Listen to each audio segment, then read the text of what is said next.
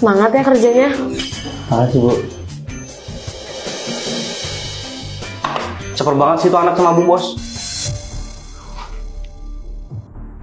Eh, kamu jangan coba-coba caper ya sama Bu Bos. Kayaknya saya nggak ada caper deh.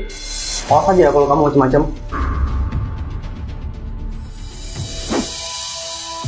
Permisi Bu, pasti Bu belum sarapan kan? Ini Bu, saya bawain makanan. Eh, tapi Bu Bos lagi diet. Jadi untuk saya aja ya. Eh, Obe, apaan sih kamu? Wah, kelihatannya enak nih. Bu, lihat kelakuan Obe kita. Nggak apa-apa kok ya. Kebetulan saya memang lagi diet. Lihat aja, aku bakal bikin kamu dipecat. Nih. Maaf ya.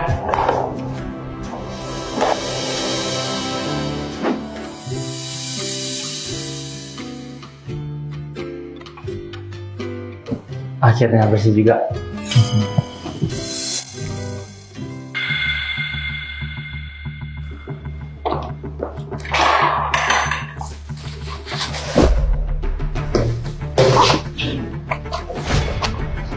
Rasain lu, main-main lu sama gua. Astaga, kok bisa sampai kotor kayak gini? Garen! Iya bu, ada apa? Loh, kok bisa kotor? Tadi saya udah bersihin loh bu. Permisi Bu, ini berkas buat meeting kita hari ini. Eh, kok meja Ibu kotor banget sih Bu? Eh Obe, kamu kerja apa gimana sih? Masa bersihin itu aja nggak bisa?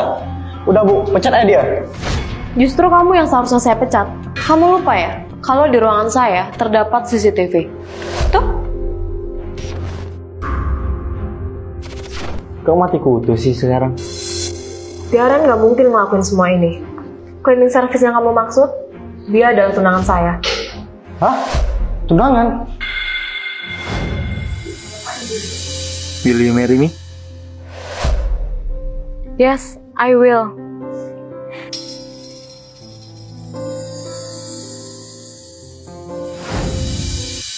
Sekarang, karena kamu udah ngotorin ruangan saya, kamu saya pecat. Eh, kamu nggak bisa pecat saya.